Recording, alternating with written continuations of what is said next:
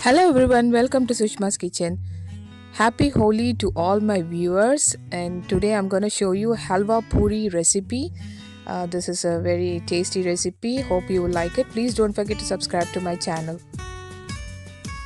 For making the suji halwa, I have taken one cup of uh, desi ghee here, uh, clarified butter and I'm going to add 2 cups of uh, suji uh, that is semolina rava you need to fry these well for uh, at least for 10 minutes. You have to keep on frying this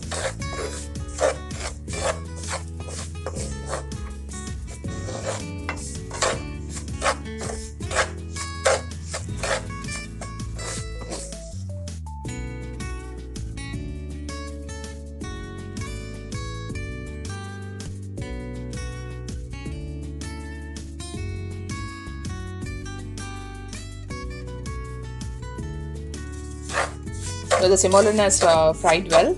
Uh, it has changed its color, like slightly brown in color. It, it, has to be changed. For 10 minutes, you have to keep on stirring it.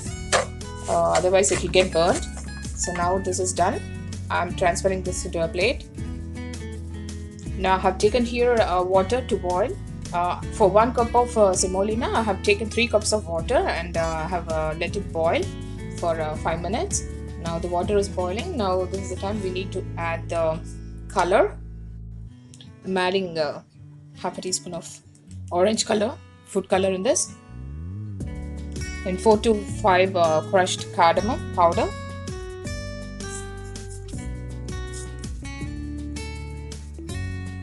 Now I'm gonna add the semolina the fried semolina which we have. And uh, when you're putting this uh, you have to keep on stirring. Otherwise uh, the lumps will get formed.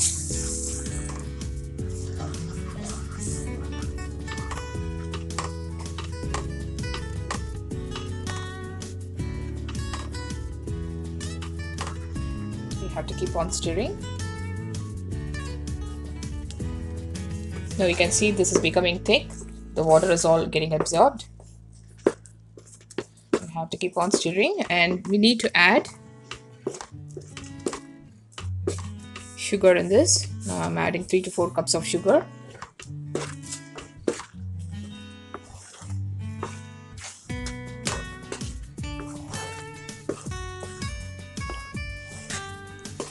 Keep on cooking like uh, till the oil separates and the semolina is fully cooked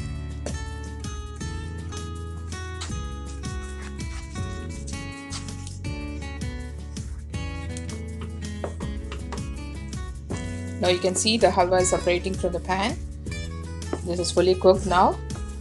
For another two minutes you keep this in the pan and then you can take it over. So you can see.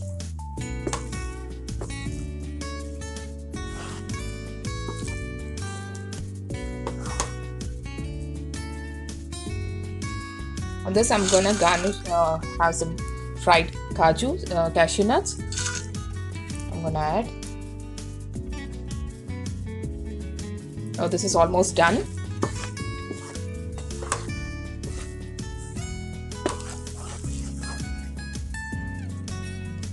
For making the puri, I have taken here uh, maida, all-purpose flour here and I'm gonna add a half a teaspoon of salt in this.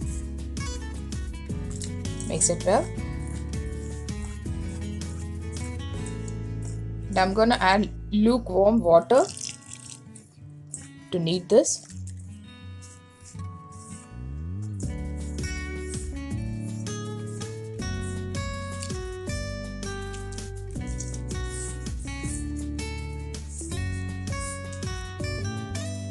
And in this I'm gonna add uh, 1 tablespoon of oil. Knead it well. You have to knead this well for 5 minutes.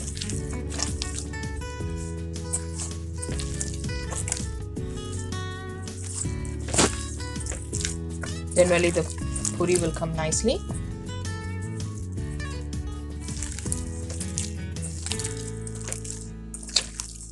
And allow it to rest for uh, 10 minutes at least 10 minutes. Uh, or if you have time you can allow it to rest for half an hour.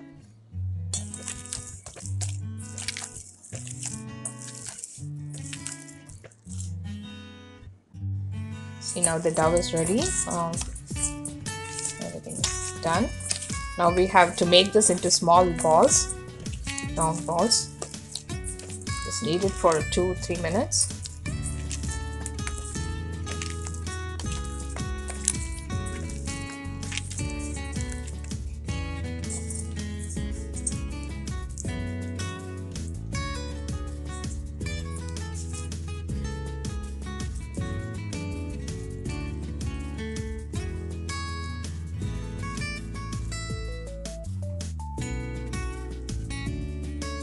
you have to make like this balls and keep this aside.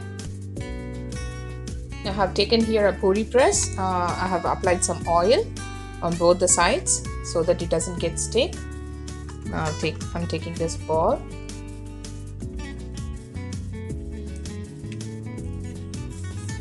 And press this close this and press this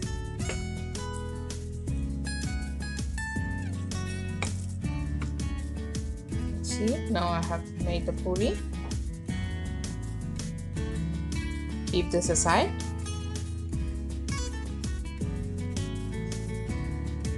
Now I have taken here oil for deep frying the puris. I have uh, made it uh, hot.